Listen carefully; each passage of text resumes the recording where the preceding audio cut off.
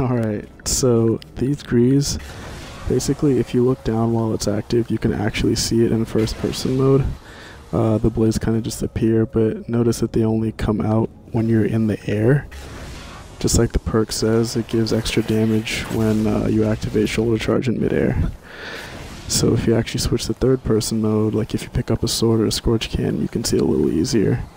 And it looks pretty sweet. But notice they like kind of disappear once you touch the ground, so you kind of have to make sure you're in the air all the time. And so next I'm gonna have some like PvP clips showing the raw power of these things because they're kind of like atrocious.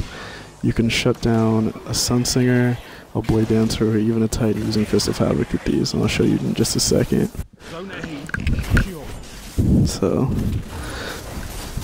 there's a guy using Radiance just around this corner right here. So, I'm gonna run into him. So, okay, here it is, here it is. And Radiance gives you like double health, just so you know. Then there's an Arc Blader who activated it mid-air. And even the like activation itself gives you damage resistance, but you can still shut him down. And then with Fist of Havoc, this poor guy thought he was doing something good. Yeah, so this is what it looks like on a captain if you just activate it with like a regular shoulder charge.